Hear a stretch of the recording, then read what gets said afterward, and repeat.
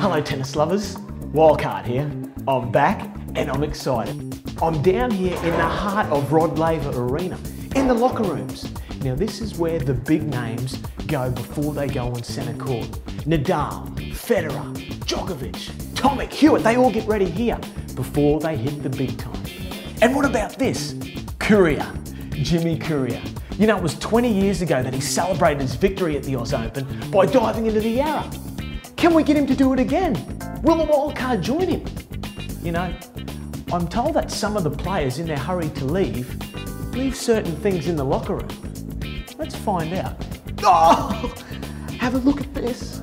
Australia's own Pat Rafter. Look what he's left here. Better put these away. Anyway, let's have a look at a couple more lockers. It's another Pat. Pat Cash, an Aussie icon, winner of the 87 Wimbledon Championships. The wildcard wants to wear this, but I'm going to leave it up to you. Follow me on facebook.com forward slash optus wildcard and you can decide if I wear the headband.